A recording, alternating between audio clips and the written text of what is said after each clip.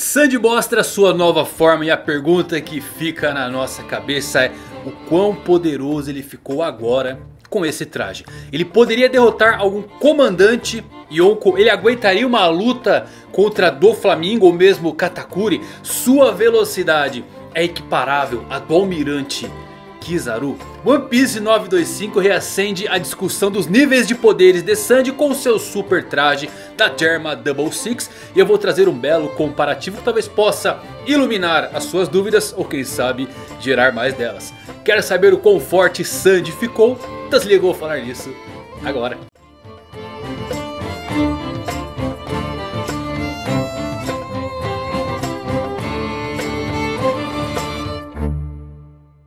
Fala galera, Evandro Fusari aqui para o vídeo para vocês, como vocês estão? Espero que todos estejam em casa, seguros e muito bem. One Piece 925 traz o super traje do Sandy, que incrível, eu vim até com a minha camisa aqui do Jaspion para ficar no clima do Super Sentai. E olha que interessante, quais os níveis que o Sandy adquiriu com esse novo traje, aonde ele pode chegar, quem ele poderia derrotar, tudo isso nesse vídeo. Antes, aproveita para se inscrever, óbvio. Escritão Mangalático, deixa o like para dar uma fortalecida. Ativa o sininho para ver outros vídeos. E agora sim, vamos descobrir qual o nível de força do Sandy e seu super traje.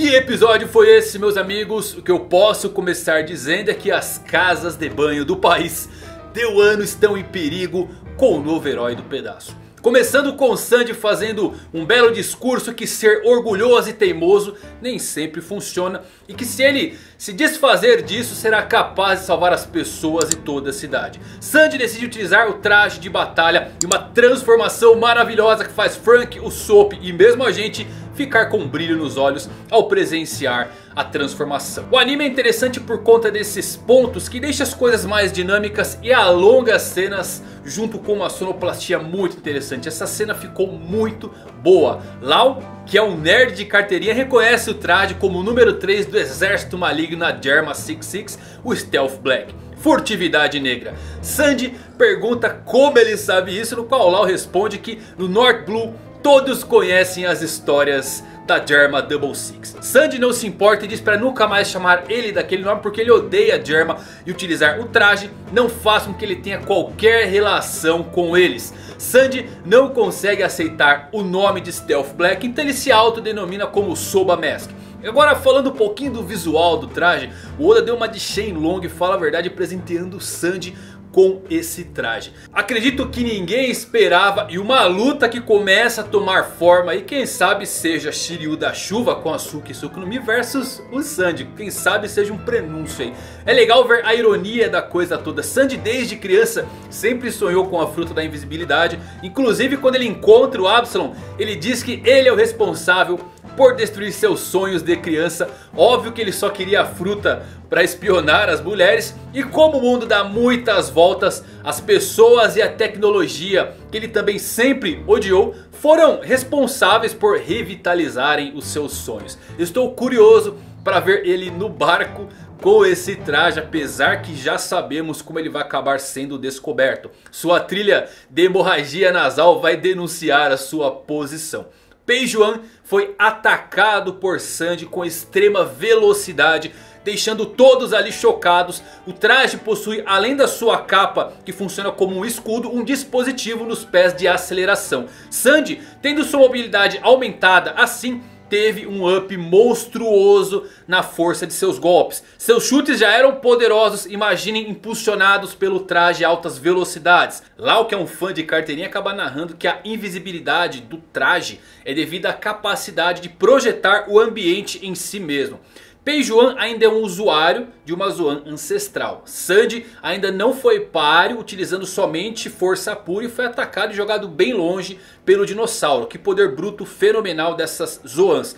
A forma híbrida é onde o usuário brilha. Velocidade acima da média e força bruta pura. Ele remessou o Sandy longe com o seu golpe. Felizmente o traje também tem uma boa defesa e uma boa resistência. Peijuan pensa que a luta acabou, mas em vez disso recebe um duro golpe na cabeça. Lá o Frank e o Soap decidem deixar o local. Essa luta lá no mangá não vemos o desfecho, então é sempre bom ver as coisas estendidas no anime. Mesmo no mangá, não vimos muito do traje após esse confronto, mas vamos analisar alguns fatos aqui. Vale destacar que os trajes da Germa Double Six são baseados no Super Sentai. A habilidade de Sanji em particular é uma bela referência a Power Rangers especificamente Dino Thunder, que tinha um Ranger negro que podia ficar invisível também. Bom, ele realmente precisava de um power up, então por enquanto o traje é bastante ridículo no quanto aumentou sua força. Mas o Sanji afirmou claramente que poderia ser modificado, tirando um pouco aquele visual cafona da coisa toda. Mesmo assim, é engraçado ver essa transformação. Isso acaba gerando um grande problema em nós fãs. A gente sempre quer rever aquilo novamente. Como é por exemplo o caso de Sogeking ou mesmo Frank Shogun. No caso do Sanji eu realmente duvido que a gente vai ver o traje em sua forma original novamente por conta dessas modificações. Mas o mais importante aqui são as habilidades que ela lhe confere e aonde Sanji vai ser colocado nos níveis de poderes atuais. Falando das habilidades em geral, é dito que esses trajes são poderosos a ponto de que para alguém conseguir acompanhar uma pessoa vestindo um traje de ataque, ela também precisa utilizar um. Ou seja, velocidade incrível como vimos aqui no anime. Eles também são projetados para aprimorar bastante as habilidades naturais de combate de cada usuário. Durante a festa de chá, a gente viu os irmãos do Sanji comentarem que sem seus trajes de ataque seria difícil para eles lutarem contra os piratas da Big Mom. E ao vesti-los, eles facilmente lutaram contra vários dos melhores lutadores da equipe da Mama. Notavelmente Ichiji, Niji e Onji, que foram imobilizados pelos doces de Perospero, foram capazes de quebrar sua muralha de doces enquanto utilizavam os seus trajes completos. Eles também são resistentes ao fogo, as capas dos trajes são à prova de balas e fornecem uma forma de escudo bem interessante. Vemos que ao ponto de parar a força bruta de um Zoan ancestral. As botas permitem que o usuário paire no ar e salte grandes distâncias, além de aumentar em muito o poder de um chute. Cada traje possui uma habilidade especial e na do Sandy temos a invisibilidade, que eu nem acho que realmente seja o que deixou o Sandy mais forte, e sim o aumento da sua velocidade de movimento e o impacto dos seus chutes. Aqui contra Peijuan ele nem utilizou nenhuma habilidade. Foram apenas chutes impulsionados. E convenhamos que se não fosse pela casca grossa de dinossauro de Peijuan ele teria apagado para um chute completamente normal. Com isso podemos levantar a questão qual o nível de potência de Sandy agora. A primeira pergunta que vem é o traje torna Sandy mais rápido. Será que ele se equipara à velocidade de Kizaru? Não. Ele não é tão rápido quanto o Almirante Kizaru agora. Usuários de traje de ataque são rápidos, sim como vimos antes. Eles podem se mover aqui e ali em um piscar de olhos. O que os torna definitivamente muito mais rápido do que a maioria das coisas que a gente já viu na série. Mas não tão rápido quanto a velocidade da luz. Talvez no futuro esse traje possa sim utilizar a velocidade da luz ou algo próximo disso.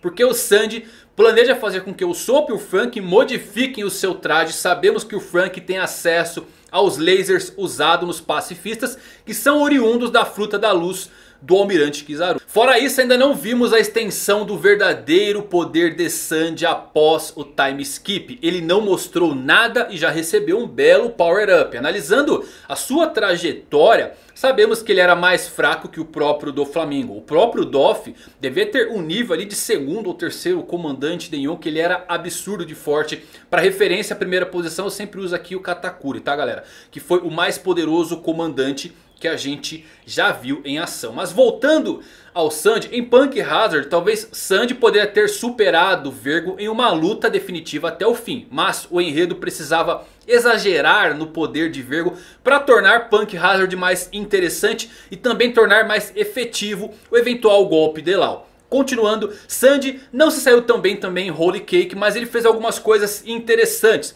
Ele desviou de um tiro de Jujuba de Katakuri, trocou golpes cadenciados com Daifuku e Oven e até mesmo conseguiu chutar Oven em uma velocidade em que ele não conseguiu desviar. Agora com o traje, imaginem o Diabo Jumbo e a força que ele vai adquirir nesse chute. Essa combinação atual deve colocá-lo no nível de um comandante Yonko inferior. Sandy possivelmente venceria Vergo facilmente com seu traje.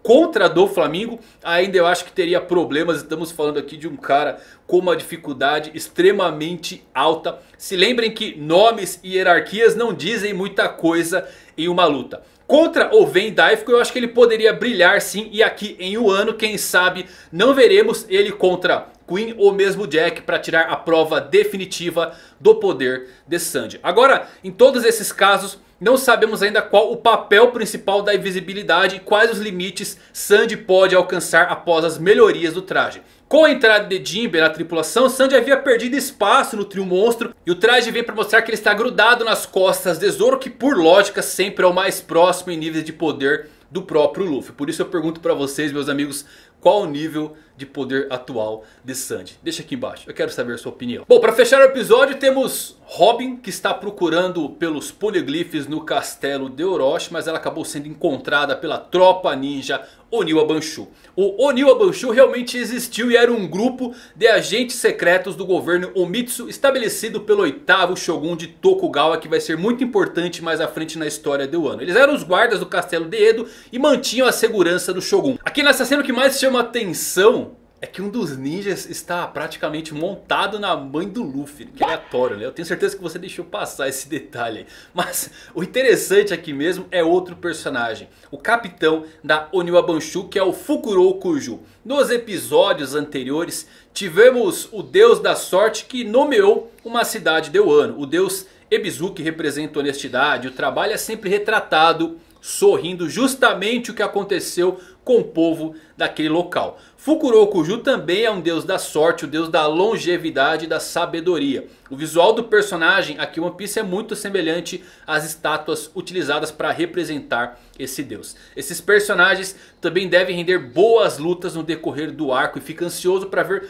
quem vai de fato encarar a trupe ninja.